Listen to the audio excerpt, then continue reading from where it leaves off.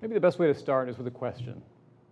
Uh, do you think that uh, America needs more Christianity in public life or less? Do we need more Christianity in public life or less? There's a lot of Americans who are very concerned about the state of our democracy and concerned about the amount of cultural change we've had in recent generations. They look at the state of our country, they're alarmed, and they think that the answer is that we need to get back to our roots. We need to return to the way things used to be, they say, because things used to be more Christian, uh, more moral, more, more stable, more orderly. Uh, and Christianity offered an, an anchor. It was the public philosophy of the United States. To be an American was more or less to be a Christian. And to be a Christian was to be an American, at least within these shores. You've all heard this sort of complaint, I'm sure, but this also has a scholarly counterpart. There are scholars who make a version of this argument. Right, so Samuel Huntington, you may be familiar with his famous Clash of Civilizations thesis. He also wrote quite a lot about America. And, and he made the kind of the scholarly argument that we are defined, in his words, as a, as a nation of Anglo-Protestantism. I want to be very clear that he didn't mean that in a racist or theocratic sense. He didn't say we all have to be white, we all have to be Christians. He said it was rather about culture, that America was defined by a specific cultural heritage, the cultural heritage of Anglo Protestantism. And he believed that anybody of any race or religion could assimilate to that culture. And Huntington thought that this was so essential to being, an, uh, to being American that we would actually lose our sense of self. We would even lose our democracy if we lost our Anglo Protestantism. He thought, in his words, he said, the American creed of liberty and equality is Protestantism without God. Protestantism without God. And so if we lose our Protestantism, we'll lose our creed as well, more or less. Now, it's true that our culture has changed. Uh, the United States is less Christian than it's ever been in four centuries, since the beginning of European settlement in the New World. It's also less European. Is that the problem? Is American democracy in crisis because our culture has changed so much? Do we need to get back to America as a Christian nation? Now, you probably know already, my answer is no. I'm going to describe that as Christian nationalism and explain all the things wrong with it.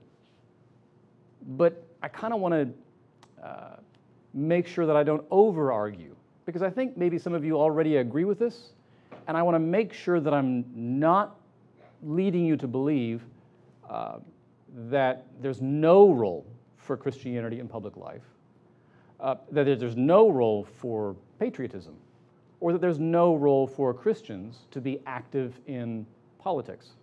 I think that there is. So I want to try to steer a, what I think is a fairly middle course here, warn against the dangers of Christian nationalism, but also try to hold up some healthy vision of what it means to be a Christian in America. That's my hope and my prayer for our talk this, this evening. So to start, I want to talk about patriotism. Um, and I want to start this way because so often when I debate nationalists, they start by saying, What's wrong with loving your country? And I want to make sure that I say, Nothing. Right? There's nothing wrong with loving your country. In fact, not only is there nothing wrong, I think it's a positive virtue. I think it is a good thing to be grateful for where we come from.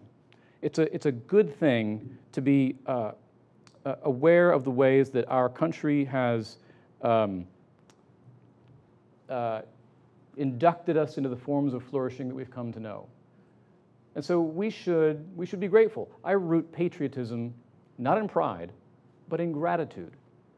Uh, we've all been given so much that we haven't made or earned. We've been given it by the social, cultural, and political institutions that surround us that were here before we got here, and they'll long outlast us too. And we should be grateful for the, the great things they do and the great things they are. And, and even more than that, perhaps you know this quote from C.S. Lewis. He praised simply the love of home, the place we grew up in, of places uh, near these and like them, the love of old acquaintances, of familiar sights, sounds, and smells, a love for the way of life, for the local dialect, and more. It's very normal, and it's very natural, and it's very good to have that special affection for the place you call home.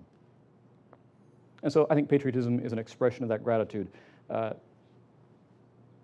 so keep that in mind as I go on and critique nationalism.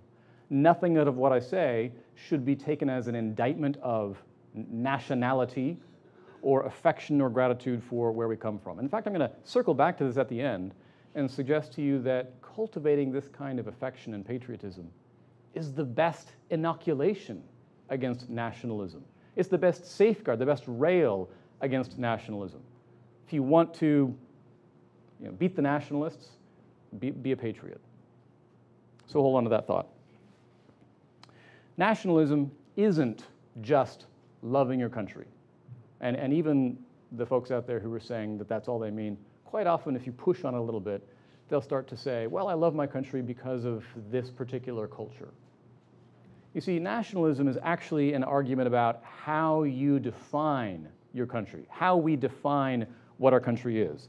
It's an argument about national identity.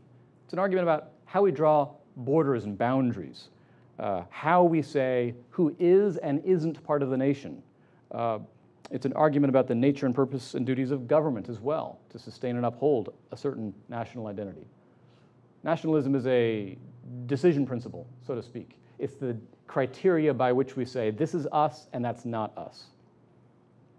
And nationalists locate that decision principle in culture. Culture. Not creed, but culture. Nationalists will look out across the world, they'll draw a mental map of the world's cultures. And to them, that map looks a lot like a checkerboard in the sense that each square is divided from the other squares by clear, hard, distinct, easily drawn boundary lines. So you've got one square over there that's the essence of Frenchness, uh, French identity, right? Baguettes and the Riviera and the French language, right? And the square next to it is the essence of Germanness, German identity, sauerkraut, right? Uh, and the nationalist thinks that the line between them, you can just draw it super easy. You know exactly where that line is. The stuff over here is easily identifiable as Frenchness, and the stuff over there is easily identifiable as Germanness. And once the nationalist has drawn that map of the whole world, the nationalist simply says, every square gets their own government. And that's the essence of nationalist political ideology. They believe that all the cultures should govern themselves, have their own government, Thus, we have nation states. It's kind of like a sovereign culture, essentially. All peoples, all cultures ought to govern themselves. Uh, it also implies a certain vision of what government is for. If that's how you think of the relationship between government and culture, it, it also says that government has a role in protecting not just the physical territory or the physical lives of the citizens, but protecting the essence of Frenchness, the essence of Germanness, the cultural identity. That it's the government's job to regulate your culture, to say, this is who we are, this is who you are. We, the government, get to say, this is your cultural identity. You're actually vesting the government with quite a bit of power there to tell you what your cultural and even moral framework is. That's nationalism. It's relatively straightforward to define Christian nationalism, American Christian nationalism. Christian nationalists look at America and they say, okay, that square on the checkerboard, that's America, and who are we as a people? We are a Christian people. We are a Christian nation, or perhaps sometimes Judeo Christian or Anglo Protestant. The adjectives change, but the basic idea is about the same. Uh, America is a Christian nation, and therefore the government ought to keep it that way. That's the really important second component of nationalist dogma is the government's responsibility. If you tell me that America's a Christian nation, look, there's some ways in which I can agree with that. If, it, if you're simply making a statement of the religious profession of a supermajority of Americans, yeah, we've always, most of us, professed Christianity. If you're making a statement about the influence of Christianity in American history, sure. Even the rough consistency between Christian principles and the principles of our founding documents. I can see that too. Those are all true statements. But if you want to say in the future the government has a role as a point of public policy to keep this particular cultural identity and support it, defend it, even mandate it in some sense, well, that is, that is Christian nationalism. Christian nationalism shows up sometimes not just in this philosophical sense, but also as a set of attitudes. You'll hear it sometimes, you'll notice it.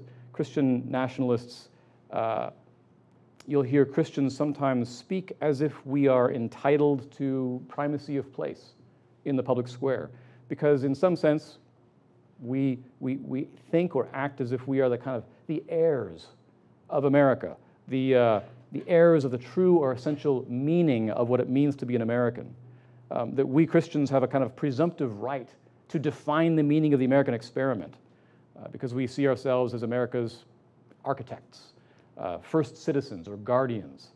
There is sometimes a kind of a proprietary or possessive sense. We invented America. You're welcome. We should stay on top, right? That's the, I think, attitude I sometimes sense in the nationalist discourse. But what does this look like in practice? I mean, I mean I, you know, this is all very theoretical and philosophical. What does it look like down to earth? What does Christian nationalism look like embodied in practice? Let me give you a couple of examples that I think help make this more concrete. Christian nationalism, I think, looks like the Patriots Bible. This is a real thing. You can go on Amazon and find it.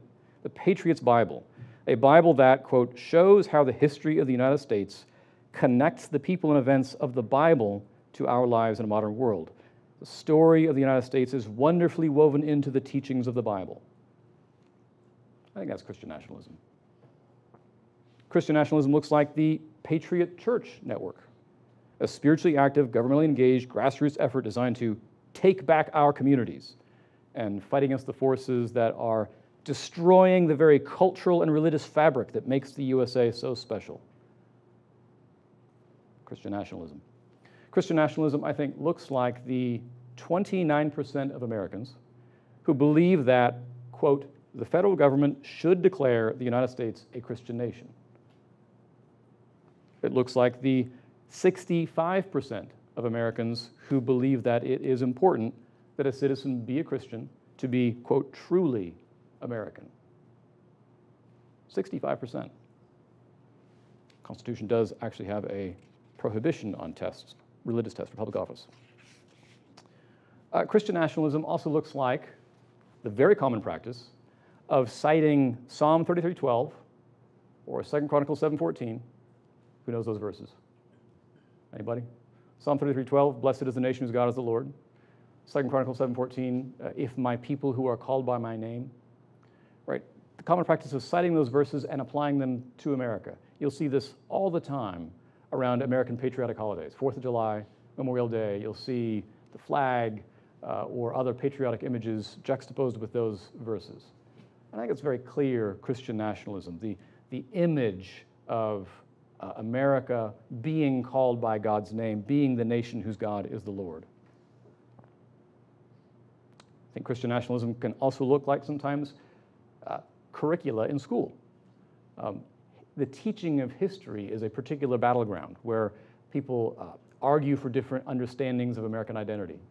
And there is a Christian nationalist cottage industry seeking to teach American history in a Christian nationalist way, to teach that America has been in a special relationship with God uh, or represents Him in some sense or has a special mission to carry out. These images of Christian nationalism that I've given you are uh, pretty, I think, popular, fairly mainstream, fairly broad, but they're also fairly peaceful. Um, and, I, you know, I wouldn't, I'd say benign compared to what I'm about to say. So Christian nationalism can look like these things, which are, again, mainstream and fairly uh, popular and also peaceful. Which is why it's important to emphasize a few other images of Christian nationalism. Uh, Christian nationalism exists along a spectrum from the popular mainstream and peaceful to uh, more alarming, extreme, and even violent manifestations. So Christian nationalism looks like this a belief that we should only allow immigrants into the United States who accept our values or culture, such as a candidate for the United States Senate who tweeted his opposition to welcoming Afghan refugees after the fall of Kabul last year because they supposedly endangered our, quote, Judeo Christian way of life. So I would call that nativism, maybe xenophobia, and I also think it's Christian nationalism. Christian nationalism looks like the Reawaken America tour, which is happening right now. It's packing out churches around the country as General Michael Flynn and others tour and lecture in churches, packing out thousands, sometimes tens of thousands of professing Christians to hear lectures about COVID conspiracy theories and the 2020 election. That's another face of Christian nationalism. And finally, yes, I do think we can also see Christian nationalism on January 6th of 2021. The Christian flag, Christian worship music, the cross erected on public grounds, the rioters who violently stormed the Capitol and stopped on the floor of the US Senate and prayed. Jesus Christ, we invoke your name. Thank you that this is our nation. Thank you for filling this chamber with patriots that love Christ so that the United States could be reborn. It's about as clear a statement of Christian nationalism as I can imagine. This is our nation. Thank you for filling the, this with, with patriots who love Christ. It doesn't get more explicit than that. So I want to I hasten to add again that um, Christian nationalism is on a spectrum. Not all Christian nationalists storm the Capitol. Not all Christian nationalists are violent extremists. But I, I, I gave you that spectrum so that you understand the, the potential is there. There is an extremist element, there's an extremist potential uh, within this ideology of Christian nationalism. Now, I want to argue that this is actually intrinsic to nationalism as a political ideology. I think all nationalisms can go this route. Let's set aside America, let's set aside Christianity, and just talk about the theory of nationalism again. Right, so let's go back to that theory of what nationalism is. I think all nationalism can go down this road of being illiberal and even extreme and violent. And why is that? because nationalism is, in fact, incoherent at its roots. I gave you the, the theory of it. I tried to give you a, a strong version of what it says of itself, the checkerboard of the world's cultures. But the map of the world's cultures is not a checkerboard. It is more like a Venn diagram, the overlapping circles, right? The borderlines between the world's cultures are not clear and distinct and hard. They are blurry and they overlap and they're constantly moving and changing, and they're not even circles, they're blobs.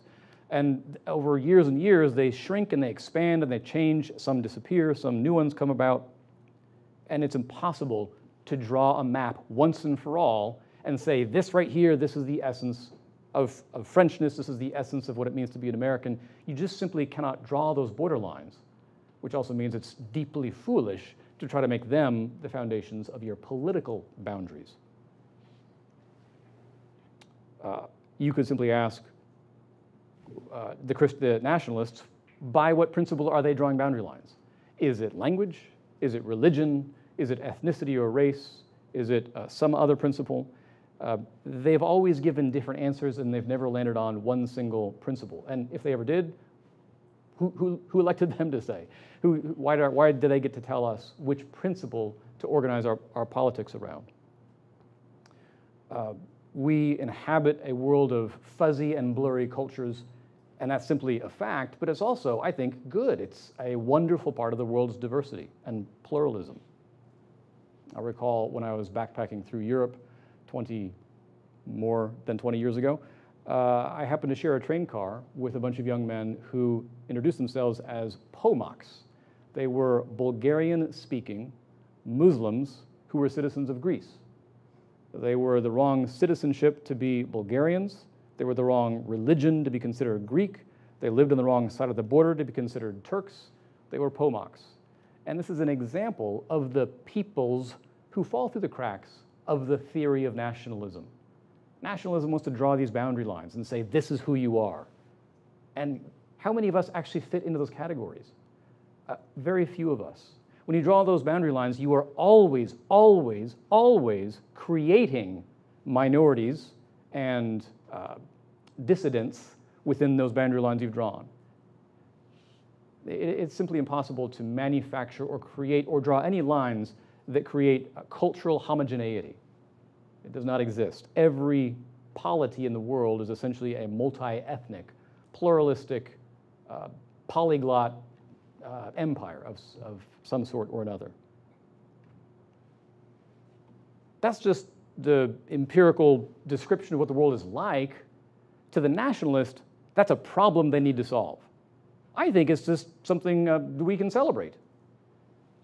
Problem comes when the nationalists approach this problem. Every way they have to try to solve this problem is illiberal. Illiberal. Okay, what do I mean by that? When I say it's illiberal, I mean it is uh, against classical liberalism. It is against the, the theory, the philosophy of the American founders. It's against the ideas of an open society. A liberal society, an open society, is one that allows free culture.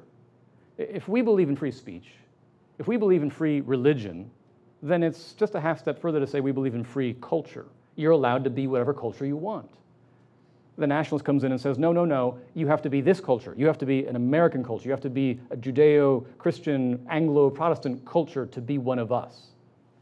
And so when they do that, they are, uh, uh, they are saying, you're not one of us to cultural minorities, to dissidents.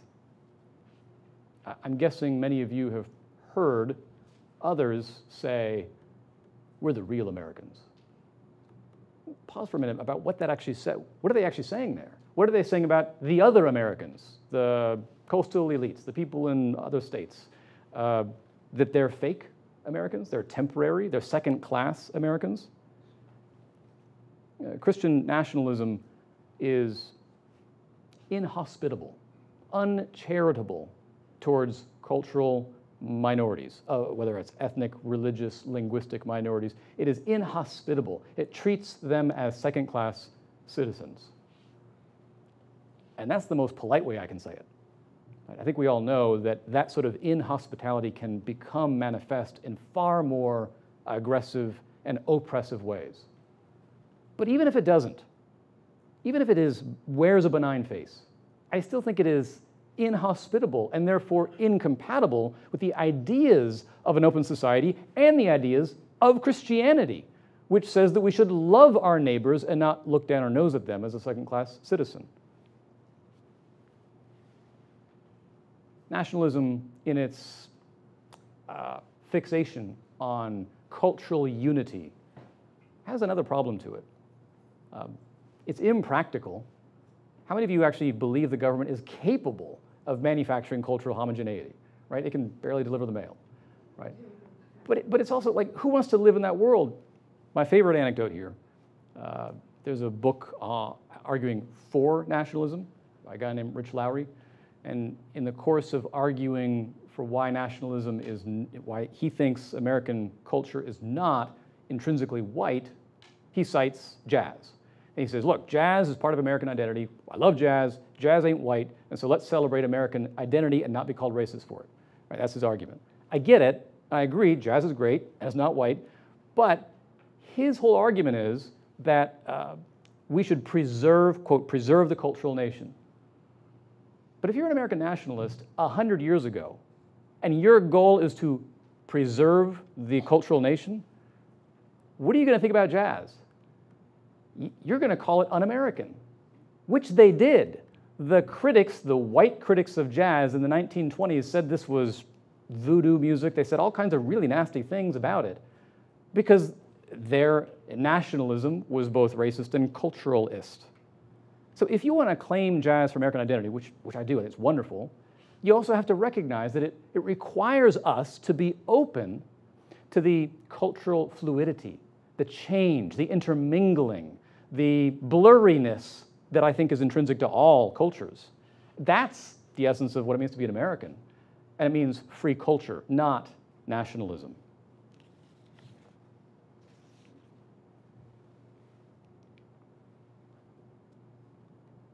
If all this is true,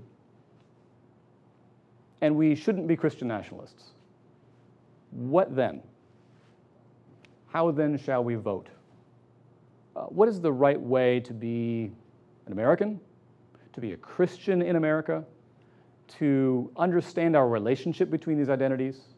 How can we uh, still be a faithful Christian, work for justice, work for flourishing, vote in the public square?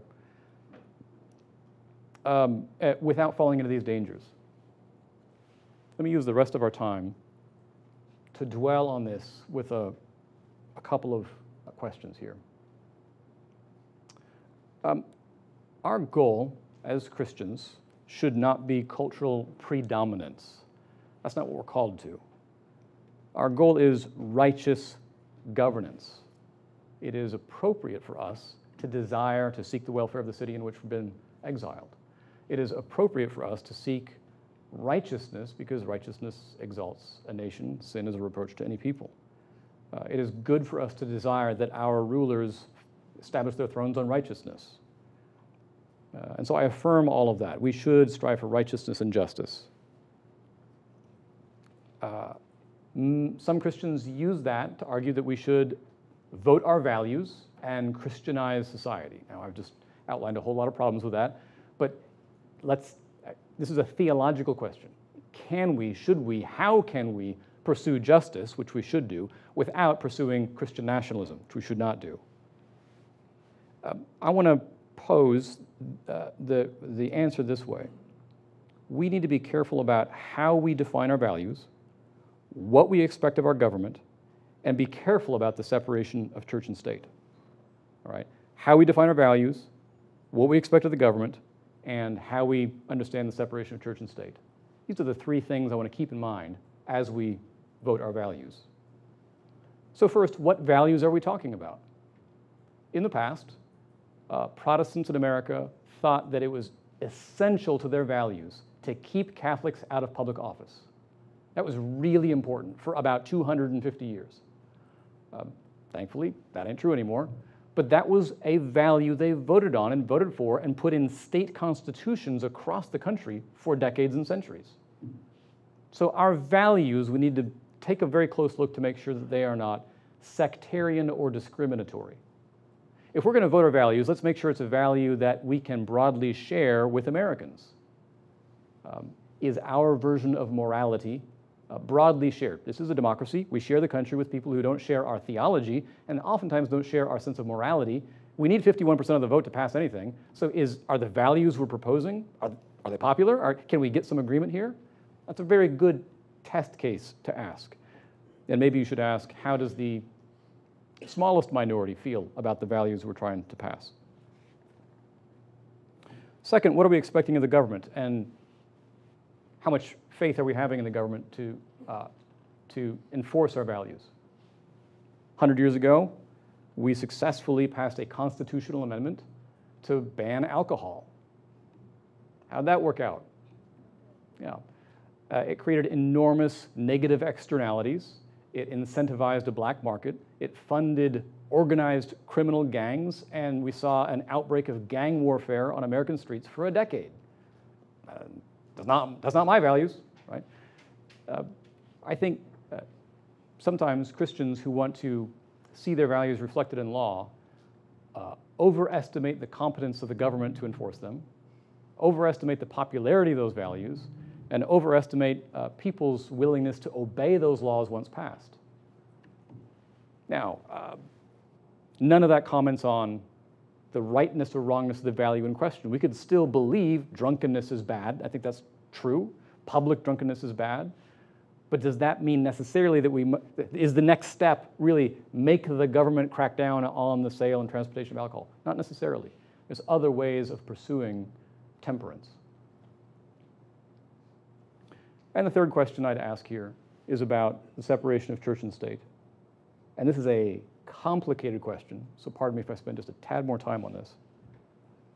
We need to affirm the biblical doctrine, the biblical doctrine of disestablishment, of the separate jurisdictions of church and state. And note that I said biblical doctrine, not constitutional doctrine. It is both, but the Bible is more important than the Constitution.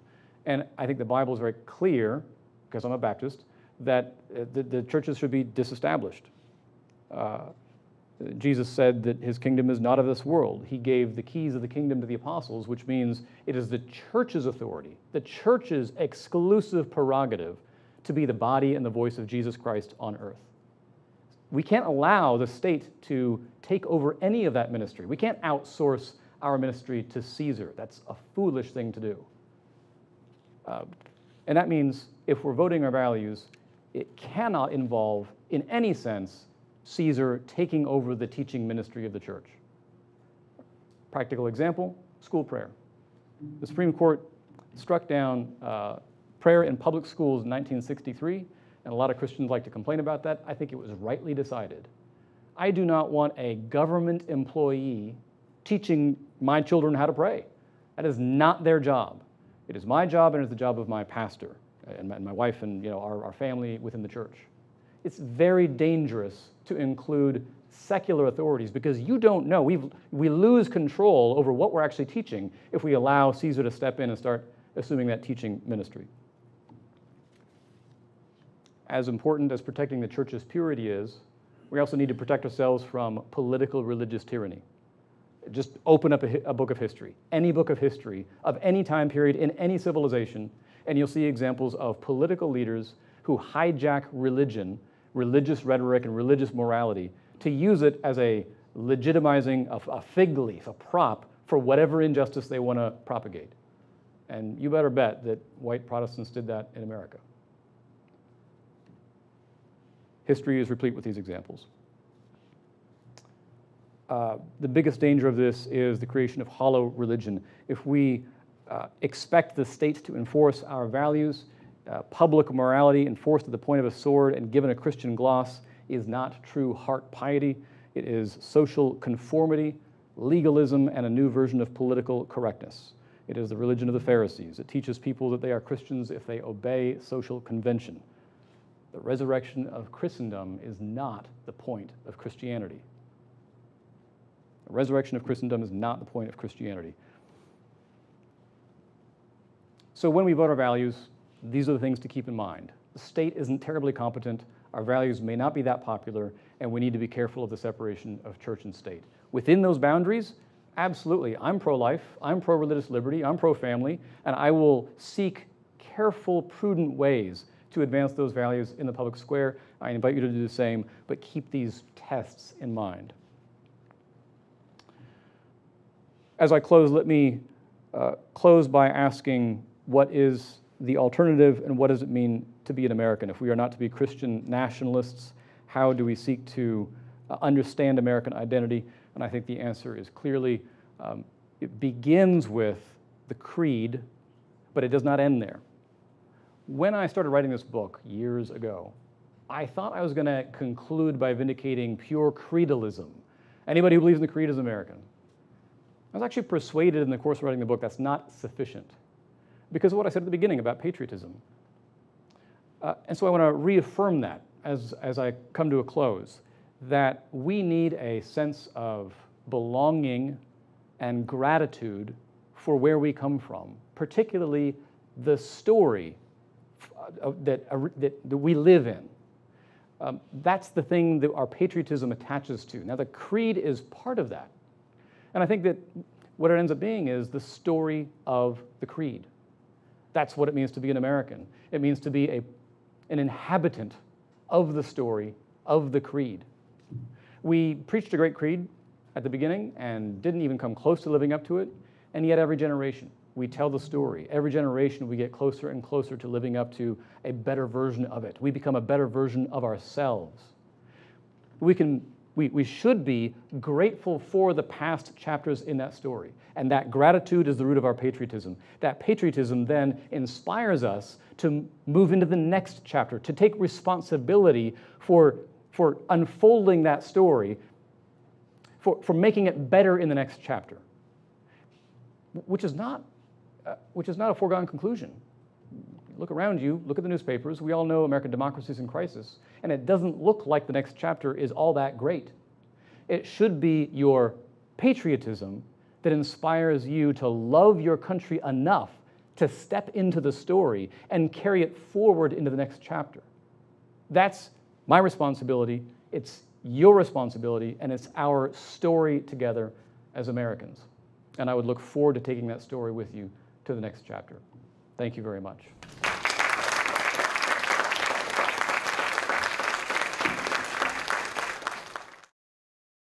Yes. I have a question of uh, the separation between church and state.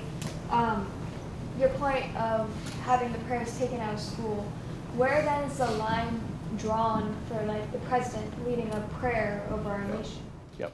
Great question. Um, essentially, what about our civil religion, right? Uh, the pageantry of American public life that uh, often does use religious symbolism and rhetoric, and we have prayers on official occasions and whatnot.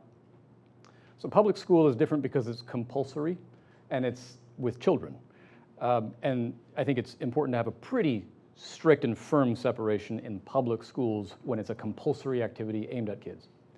I'm fairly relaxed about uh, other forms of civil religion, um, having a prayer at the inauguration, for example, um, or singing uh, essentially hymns on patriotic occasions. And that's okay because they're, they're, they're voluntary and they are expressive, and they're also kind of true reflections of American history. You just can't tell any version of American history without some reference to religion and to Christianity in, in particular. And so it would be a, a, false version of the story to edit out all references to God or to Christianity. That would not be helpful. What's the left got wrong? We're out of time. what has the left gotten wrong? I mean, where do I, can you narrow it down for me? No, no, in, in terms of narratives. Ah, okay, is, yeah. Um, has anybody here read Howard Zinn's People's History of the United States? Yeah. Or the, the 1619 Project? Yeah. Um, I think that, so I talked about patriotism. I, I think that the left, so rewind about 70 or 80 years, American history was told as a triumphalist tale uh, America does no wrong, all of our sins are in the past, nothing else to, you know, nothing to see here. Um, revisionist history comes about as a corrective, thankfully so. We need a correction. Perhaps we've overcorrected. Uh, Howard Zinn's book is not very good. It is, it is a cherry picking of all the bad things of American history strung together as if that's all there is to say. Uh, and I don't think that's a helpful or good way of telling the story of American history. It's not a true way. It is not a true way of telling the story of American history, nor is it helpful. Um, 1619, this is a complicated one because uh, lots of conservatives love to beat up on it. And I don't agree that America was founded in 1619. I don't think that's, a, I don't think that's true either. Um, however, I don't think conservatives ever bothered reading the original essay, which is fantastic. The original essay by Nikole Hannah-Jones is a manifesto of black patriotism and about how African Americans should love the country because they built the country. And I think this is wonderful. I, I love this. I think we need more of this. So that's my take on 1619. Uh, I think that the left has not done a great job of telling a unified story of who we are. Uh, identity politics comes into play here. This is another complicated issue. Identity politics is necessary for groups who need to simply band together to survive, which was sadly true for much of American history. Um, but if that is the end of your politics, then you're closing off the possibility of joining something bigger. So I uh, would want to see identity politics lead to the, the, the whole, uh, e pluribus unum, out of many, one. Where's the, where's the one on the left? We have the many, where's the one? That would be a grossly insufficient answer to your question. Yeah. Who do you think has it right in terms of the relationship between uh, Christianity and uh, patriotism. Who would you say would be an exemplar of someone who has it right? Uh, I'm not going to, certainly not going to point to either political party. Um, oh, the question is who's gotten it right, uh, the relationship between pastor Past or present? pastor. pres- Well, so in the book, I, I deliberately chose to end the main, end chapter 10 with Frederick Douglass, uh, who was a, a Christian, ordained minister in the AME tradition, um, who, who, because he was a Christian, both loved and damned America. Loved it for what it could be, and loved it for its ideals, and damned it for its practice. I think he got it right. And I deliberately chose to use that voice to end the text with.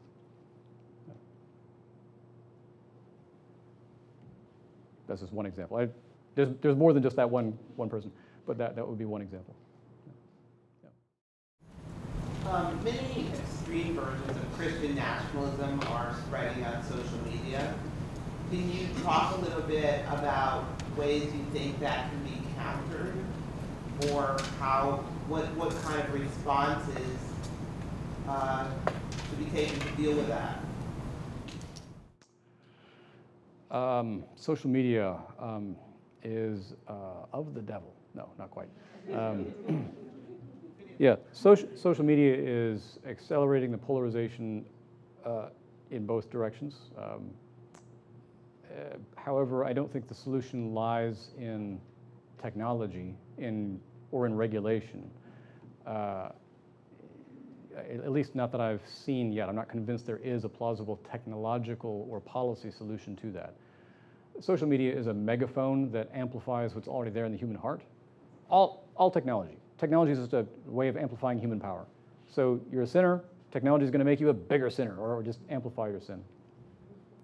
Um, so it's trite, but the ultimate solution, of course, lies in the human heart. Uh, I'm, okay, so, so that you're, you're concerned about the value of sort of tolerance and recall my caution about what the government is capable of doing. If we try to take steps to crack down on hate speech or extremist speech, think about the possible negative externalities. Right? That's giving the government quite a lot of power to regulate what we say. Um, now, social media companies, they can choose to do that. They have the right to because they're not the government.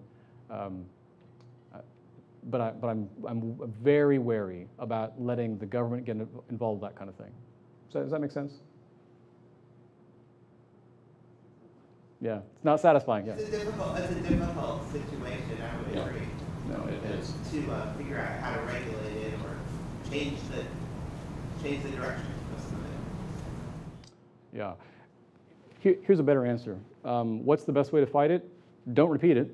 Right? So if you're if you're on social media, first get off. But if you're on social media, uh, honestly, I just don't use things like Facebook for political talk, because that's just not what it's appropriate for. I don't think. Like it's good for sharing pictures of your kids or your dog or whatever, but it's just not the right way to talk about politics and religion. I love talking about politics and religion, and I will do it to anybody face to face. And I will never do it over Facebook. This is not the right medium. So just don't do that. Don't share, don't click, don't retweet. Uh, Twitter is a slightly different animal. Um, but you know, don't participate. Don't feed the trolls. Another thing I think all of us should do is um, refute lies when you hear them. I have so often heard lies and I just kind of let them pass because I, I want an even keel. I don't want to disrupt the boat. Um, but look, I think, I think we just need to say, hey, oh, you know what? That's not true. I don't, I don't think that's true. I don't think the 2020 election was stolen. Right?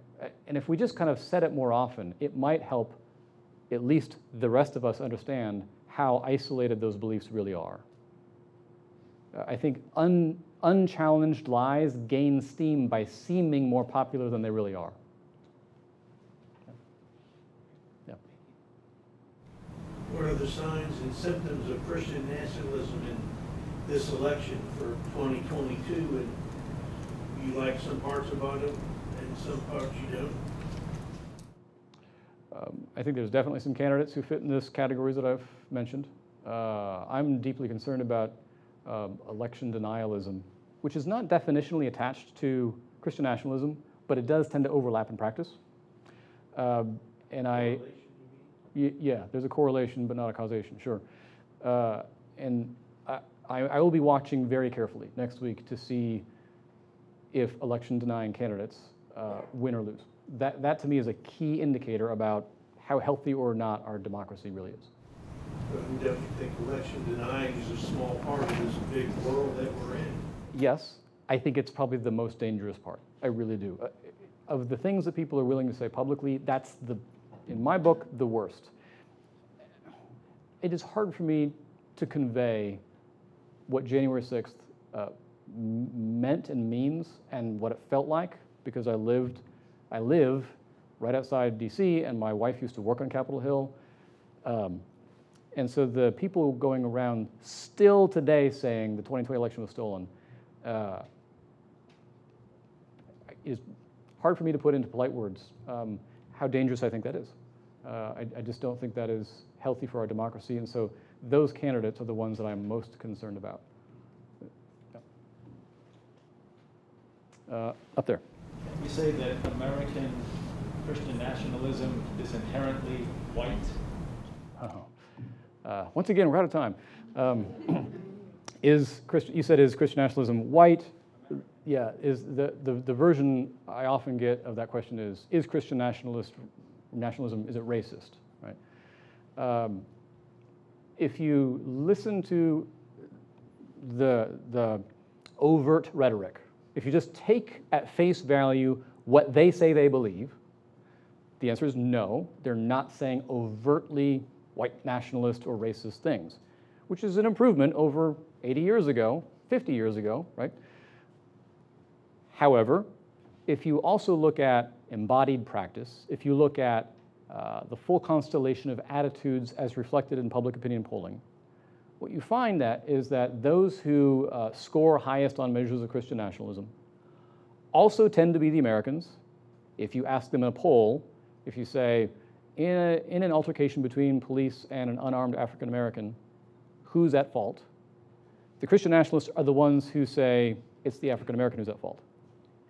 And, the, and, the, and it's not close, right? If you just take this kind of the median position, most Americans are here, and the Christian nationalists are kind of over here saying you know, they're siding with the police. The same kind of phenomenon happens on immigration, on, uh, on Muslim immigration, on um, guns, uh, on interracial marriage, sort of issue after issue after issue, you see these patterns where there's a different set of racial attitudes that co-varies with Christian nationalist attitudes. And so that statistical uh, coincidence is definitely there, despite the overt rhetoric not being overtly racist. Yeah. Uh, you mentioned a lot about liberalism. Uh, what do you think of? What do you think is bad about liberalism? Liberalism, yeah. Um, it depends on what you mean by liberalism. Yeah. And actually, I just have an essay up today on a site called Mere Orthodoxy uh, talking about liberalism and progressivism, which is the word I use to mean the, the left. So when I, when I use the word liberalism, I'm talking about classical 18th century John Locke liberalism. Um, and uh, it's not perfect, but uh, it's I, honestly better than the alternatives. You know, as, as Churchill said, democracy is the worst form of government except for all the other ones. Um, and that's kind of how I think about liberal, classical liberalism. Um, it is not the kingdom of God, and it is not in the Bible.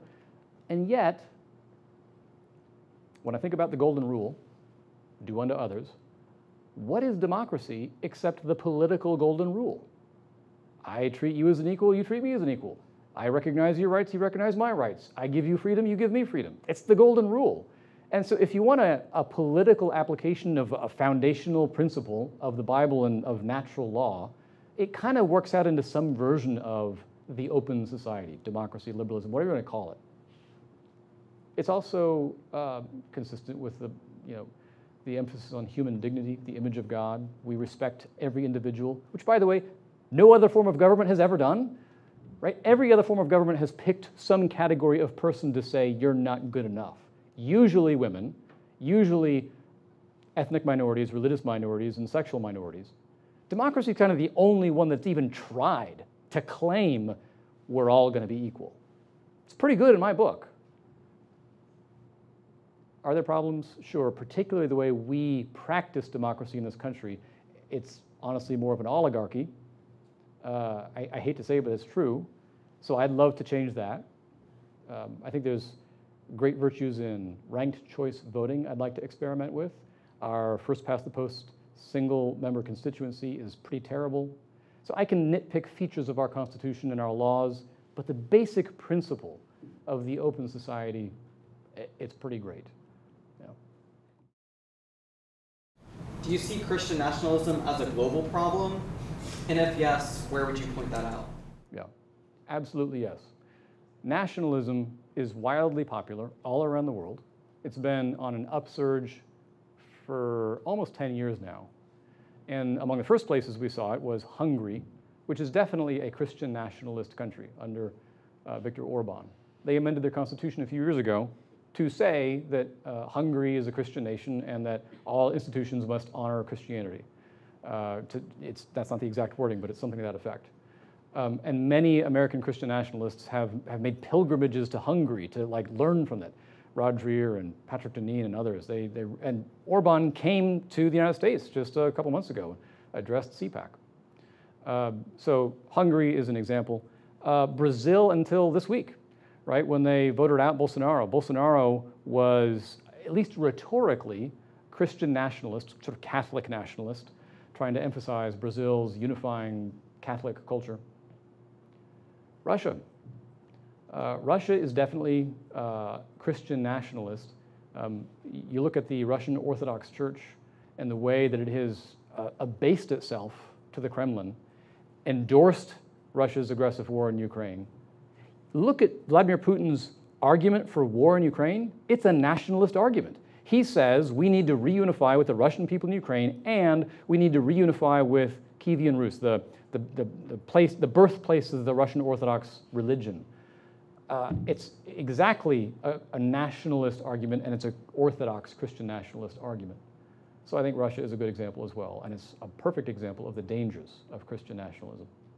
This seems to be, I mean, to Tocqueville and everybody else is sort of making these same sort of arguments about the way this nation started off.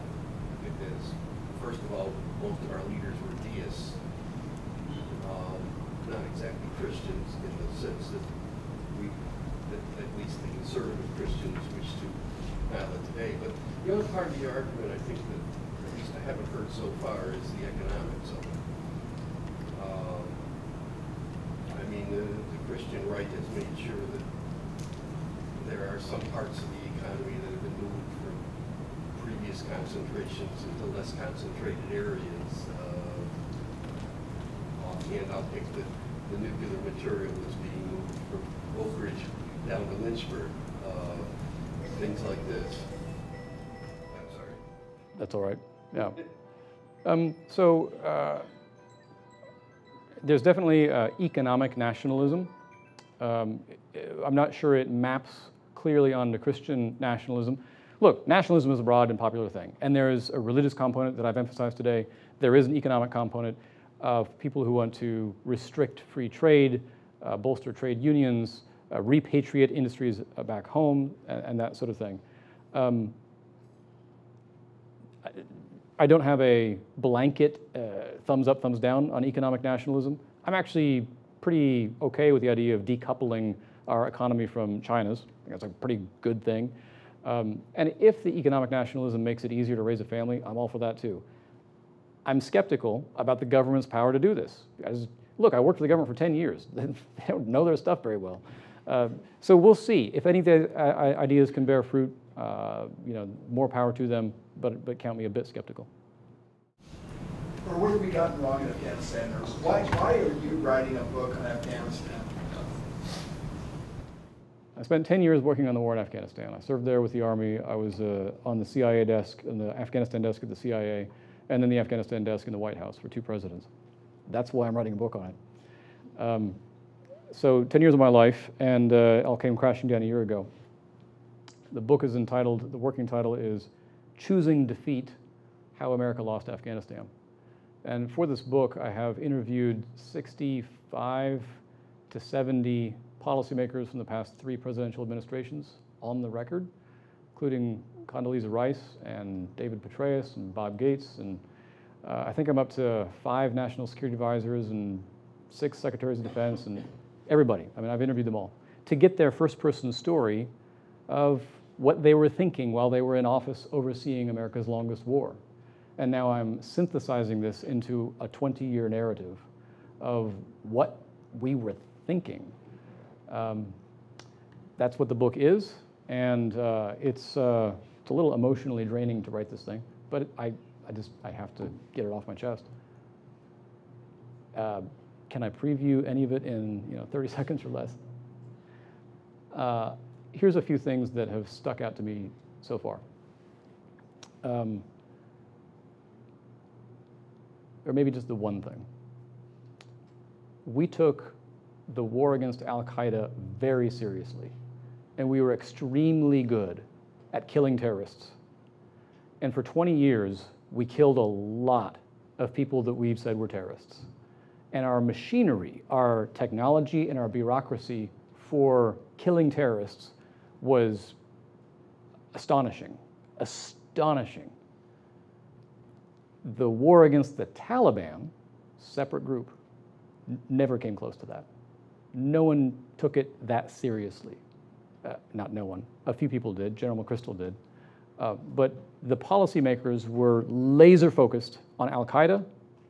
But when it came to the Taliban, which is the group we lost the war to last year, there was never that sense of urgency, that sense of importance, that sense that this is the thing, right? We're going to win or lose based on this. No one ever thought that.